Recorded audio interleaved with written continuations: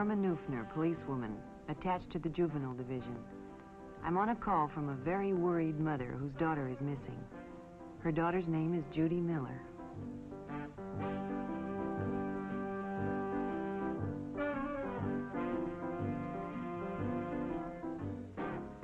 Judy enjoyed babysitting, but there weren't enough jobs among the people she knew, so she decided to advertise at the supermarket for extra work.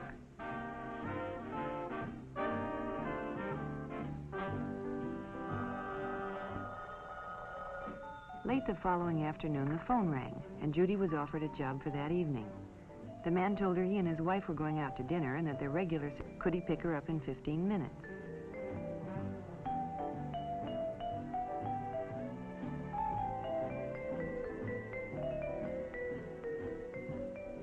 Judy's mother hadn't returned when it was time to go, so she left a message by the telephone.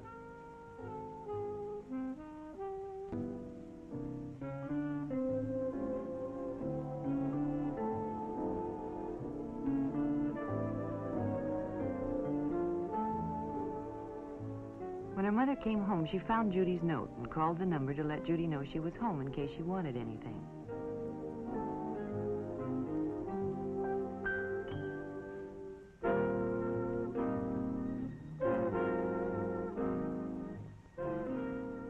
A woman answered, but she didn't know anything about Judy and told Mrs. Miller she must have the wrong number.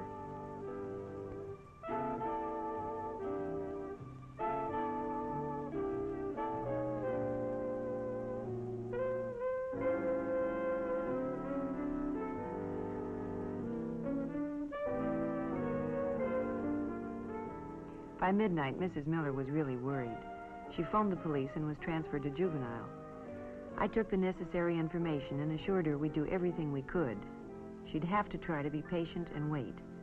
The waiting lasted almost a week. Then the report came in. Judy's body had been found on a lonely desert road. The most difficult part of my job is bringing bad news to parents. You can never find the right words to tell a mother her daughter has been murdered. Judy hadn't done anything wrong, she'd only been careless. Careless about whom she'd trusted. In itself, there'd been nothing wrong about advertising for a job, but it led her to trusting a person she knew nothing about. A mentally sick person who used her innocent ad as an introduction to his act of violence.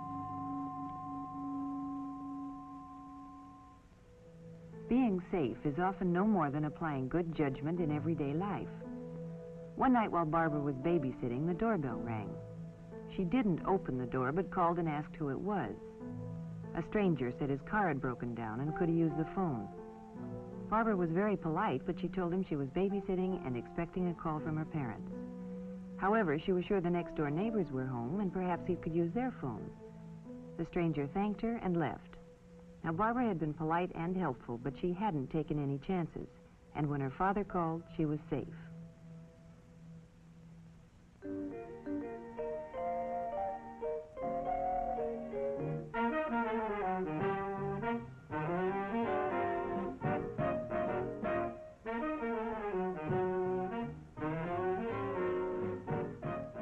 Friday night was movie time for Sally and Elizabeth. Their parents alternated weeks taking them and picking them up. Friendships are easily made in a crowded theater, and when two older boys struck up a conversation and moved next to them, they were secretly pleased.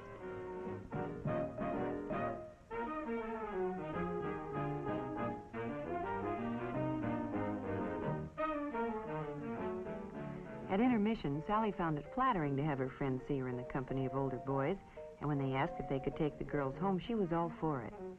She asked Elizabeth to call her folks and tell them that they could ride with a friend's parents. Elizabeth was tempted, but decided it wouldn't be right. And Sally was disappointed.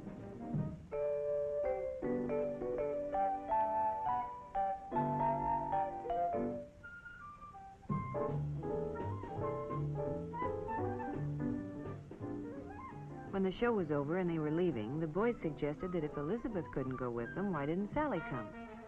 Sally thought it was a great idea and asked Elizabeth to tell her folks that her parents had picked her up.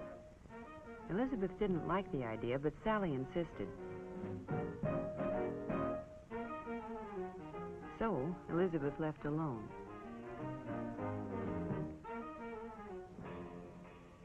Not any of the boys she went with had a car, so it was fun riding with the older fellows. When they drove right past her house, she became concerned.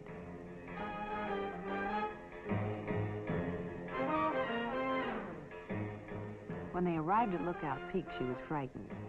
She tried to convince herself there was nothing to worry about, but when they parked off the road, she knew she had gotten herself into something she couldn't handle.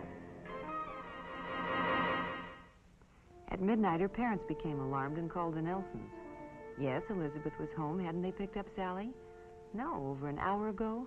Well, of course she could talk to Elizabeth. Between guilty tears, Elizabeth told what had happened. Sally had been found, dazedly walking down the road from Lookout Peak.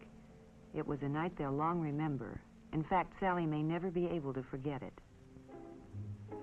Often seemingly innocent places can turn out to be just where wrong associations are made. Mary met Robert at just such a place. Robert frequented the malt shop in his spare time, which was considerable, as he'd finished high school and didn't work. Here he sought out the company of younger teenagers because he wasn't accepted by those of his own age group. Mary and her girlfriend could always be found at the malt shop after school.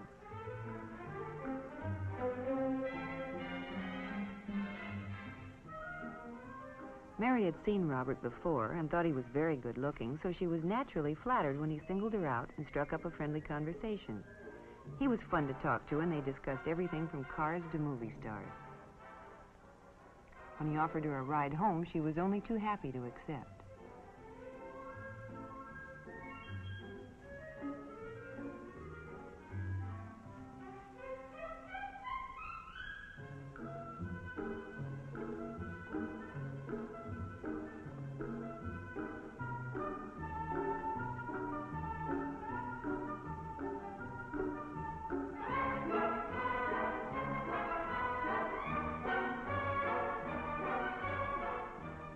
They drove around for a while and talked.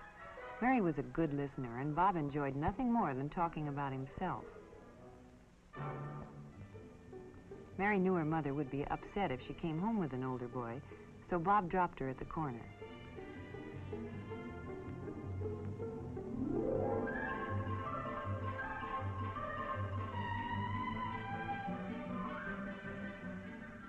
After that, they saw a good deal of each other.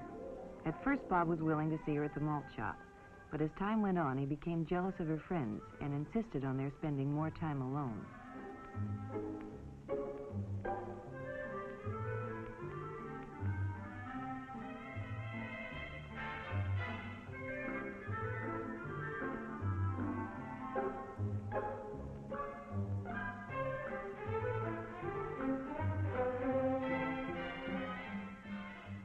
Began to go to secluded places and their relationship became more intimate. Mary knew things were getting out of hand because Bob became more and more demanding, but not wishing to lose his friendship or the prestige she enjoyed from her friends for having an older boyfriend, she complied with his desire.